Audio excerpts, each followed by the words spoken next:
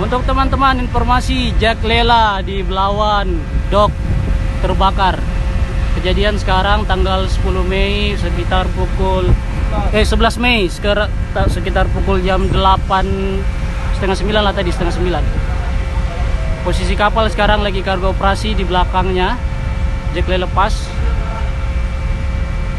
Belum tahu korban ada berapa tapi diperkirakan tadi ada sekitar 6 atau 7 orang kayaknya. Tadi di Buritan saya ada lihat ada sekitar lima orang sebelum api membesar.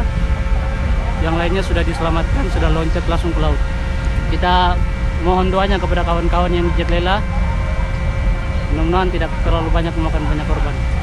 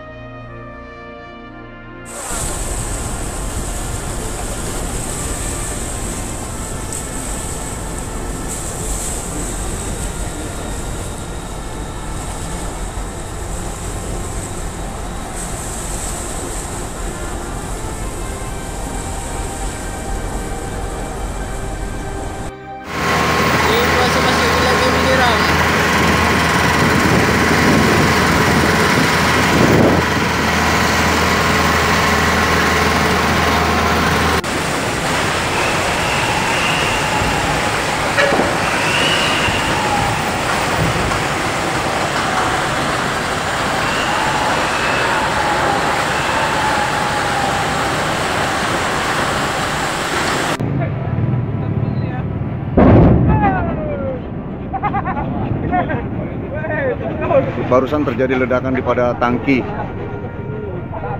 Tangki kapal yang docking ini. Ini sedang berjalan evakuasi. Evakuasi pekerja yang harus diturunkan. Waduh pertahanan juga akan terjebak.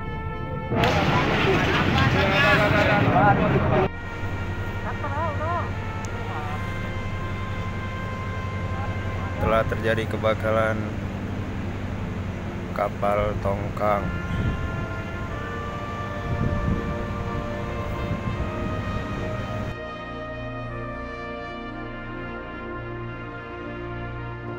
Ah, ini, habis ini, habis.